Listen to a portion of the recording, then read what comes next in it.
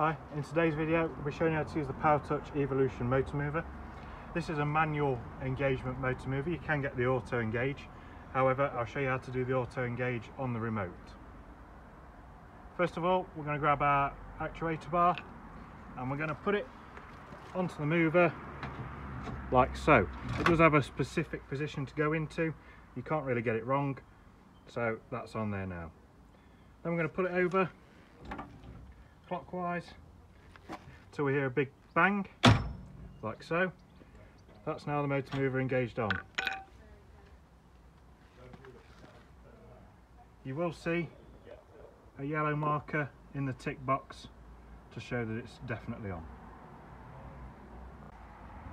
We're over at the battery box now where the isolator key goes for this motor mover to turn it on and off you may have requested for your isolator to be fitted in a different place in the caravan, but this one's got it in the battery box. It still works the same way.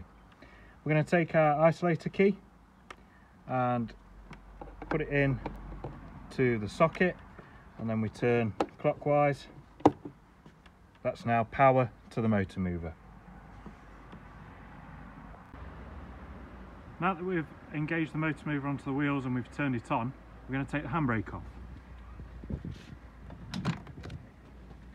The motor mover will hold the van just as the handbrake would, so there's no need to worry about it moving anywhere. So now that we've got the motor mover engaged and we've got it turned on, we're going to turn it on via the remote. To turn it on, you must press both power buttons. That's a safety feature so that you can't accidentally turn it on in a pocket and start moving the caravan around. We've got a green light in the far right hand side of this light here we can adjust that and that's how we adjust the speed.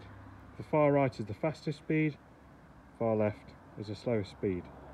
There's not much difference. This here indicates that that's the hitch so we know that this button here is going to take the caravan forwards.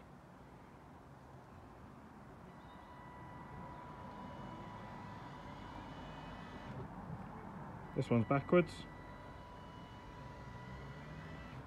the turns on the motor mover are a little bit the opposite of what you think. So this one here is actually on the left, but the caravan is going to go towards the right. And vice versa.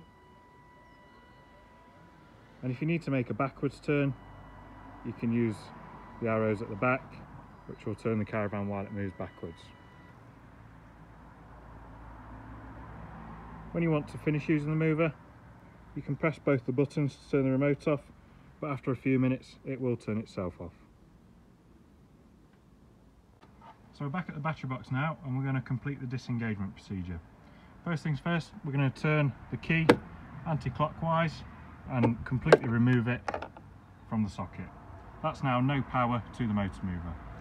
You must remember not to leave this key in. Even if you're not using the motor mover, there will still be power going to it and that will kill your battery off. So we're back down at the front of the caravan now and we're going to put the handbrake on before we disengage the caravan's motor mover so it doesn't roll.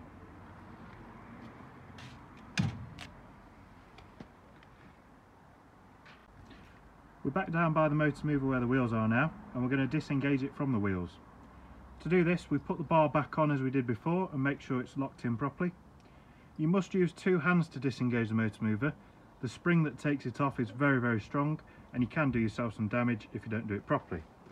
We're going to have one hand here, one hand here, up, control it over, and then off.